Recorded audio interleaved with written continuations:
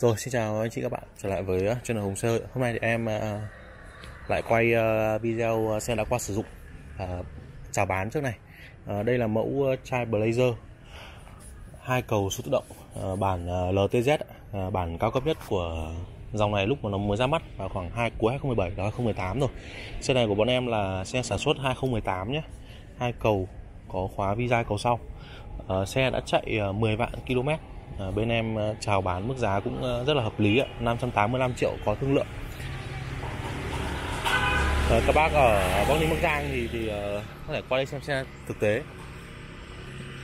Các bác mà mua xe gầm cao hai cầu máy dầu cái mức giá vừa phải gọi là chưa đến 600 các bác sang tên thì gọi là vào 600 đi đúng không ạ? À, chưa kể thương lượng thì uh, tham khảo cái mẫu này. Một chiếc xe rất là hầm hố và ừ, cá nhân em trải nghiệm cũng đã từng là bán hàng của Chevrolet ở cái thời điểm mà nó ra mắt như này. Thì phải nói đây là một chiếc xe rất là hợp lý ờ, khung gầm chắc chắn, động cơ khỏe. Tất nhiên thì ờ, các bác ờ, đi lại sử dụng cái mẫu xe này thì không thể tránh được khỏi là cái với cái thân xác nặng và cái động cơ công suất lớn thì cái mức tiêu hao dầu, đây máy dầu nhá, nó sẽ cao hơn một chút. Tuy nhiên thì ờ, với phiên bản LTZ ở 2018 thì mình cũng được trang bị rất là nhiều tính năng công nghệ rồi. Ờ, đèn auto này ờ, Nâng chiếu chỉnh góc sáng này. Đấy, các bác có đàm thoại rảnh tay Cruise control hay là cảnh báo va chạm ở đầy đủ. Ngày xưa thì Chevy họ làm màn hình sau vô lăng cũng như màn hình đồng hồ A-lock như này. Đấy, Màn hình bọn em vẫn là màn hình zin nhá. Nguyên bản gần như nguyên bản đấy các bác điều hòa hai vùng độc lập. À, các chế độ lái này lệch làn đường này cân bằng điện tử này Đấy, đồ đèo xuống dốc tắt bật cảm biến. Thì à, gần như là, là bản này đã đầy đủ nhất rồi. Sấy kính sưởi ghế các thứ là là các bác cứ yên tâm mà phải đi thôi. Đấy. xe này bọn em mua thì gần như là nguyên bản. 585 triệu có thương lượng cho các bác. Đây hàng ghế thứ hai hàng ghế thứ ba à, mức uh, tiêu thụ thì ở đây.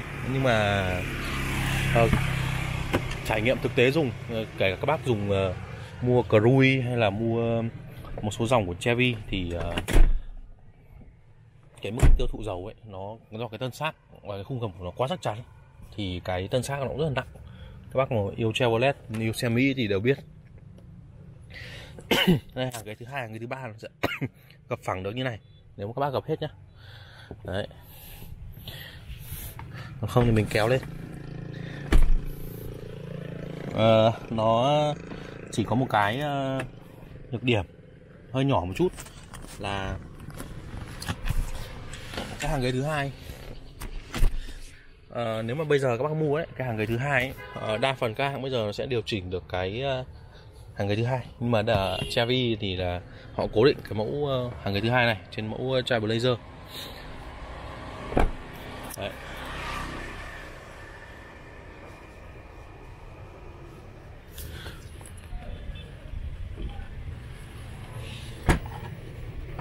cam lùi cảm biến các thứ là là thoải mái nhá à, bản này bọn em là cốp cơ nhá Đấy. À, bác chủ cũ thì uh, lên thêm một bộ uh, để đồ chia cốp như này xe thì uh, bọn em cũng, cũng cũng mua gần như là để nguyên zin, cũng chưa spa gì kịp. Đấy chưa kịp rửa các xe chai blazer hai cầu tự động bản LTZ bên em ờ, chào bán ờ, gần 600 sang 585 triệu có thương lượng, xe đi 10 vạn nhé.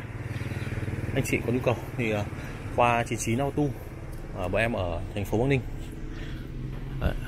rồi xin chào và hẹn gặp lại trong những cái video tiếp theo.